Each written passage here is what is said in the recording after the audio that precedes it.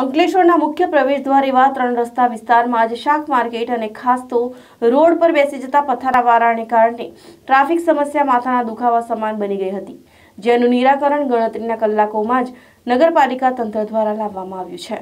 જોકે નગરપાલિકા પ્રમુખે પથારાવાળાને સમજાવટથી અંકલેશ્વર નગરપાલિકા દ્વારા આ સમસ્યાનું નિરાકરણ લાવવામાં આવ્યું છે. પાલિકા તંત્ર દ્વારા માર્કેટની બાજુમાં તમામ પથારાવાળાઓને જગ્યા આપી દેવામાં આવી છે.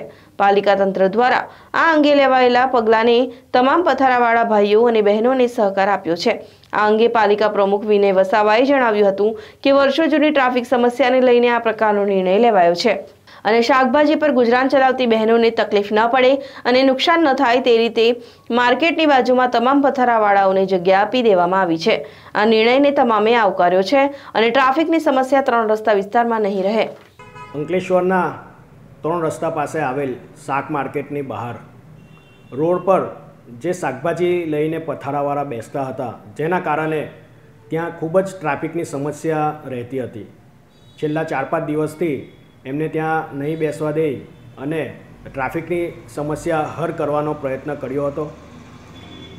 પથારાવાળા બહેનોનો જે રોજીરોટીનો પ્રશ્ન હતો એ પણ નગરપાલિકા સારી રીતના જાણે છે અને એમના માટે વૈકલ્પિક વ્યવસ્થાની તૈયારીઓ પહેલેથી જ કરવામાં આવી રહી હતી.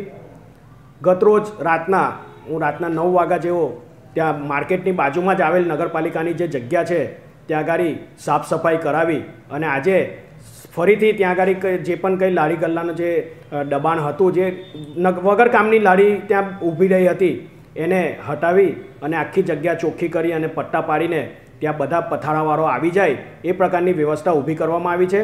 સ્થળ પર જ ત્યાં જઈને પથારાવાળા જેટલા પણ મહિલાઓ હતા એમને સમજાવ્યા અને એ લોકો માની પણ ગયા છે અને આ જગ્યા એમના માટે ફાળવી દેવામાં આવી છે.